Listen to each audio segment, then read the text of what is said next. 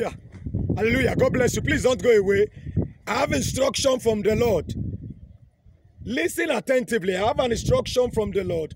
First Corinthians chapter number 4 and verse 20. The Bible says categorically, Apostle Paul is speaking there. He said, The kingdom of God is not in words but in power.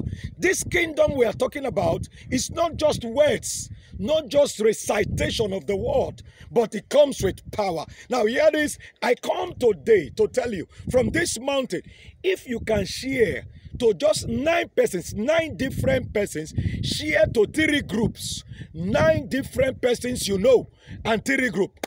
Receive it now. There is a power that will come upon you.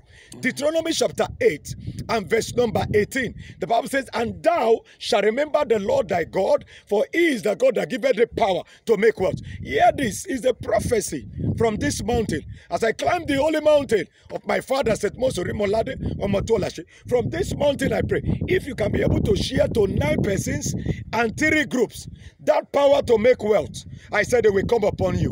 In the name of Jesus. The mm. kingdom of God is not just in word, but in power. The power to dominate, the power to run, the power for speed, the power to overtake, the power to recover. My God will give it unto you. Mm. Don't waste time. Just share it. It's an instruction from the holy mountain. As I climb the mountain, that's what the Lord told me. Just share it, and you will see a miracle. You will see a favor. Riches will be upon your life. Revelation chapter 5 and verse 12. The Bible says, and it is written, He said, What is the lamb that was slain in the cross?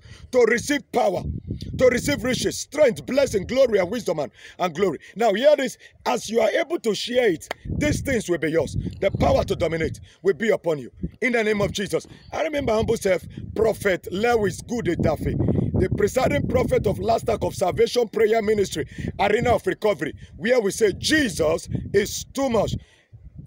God bless you. It's located in Agbaru, number 8, Emmanuel, Ojewesi. God bless you. I remember humble self in Jesus' name. God bless you in Jesus' name. Amen.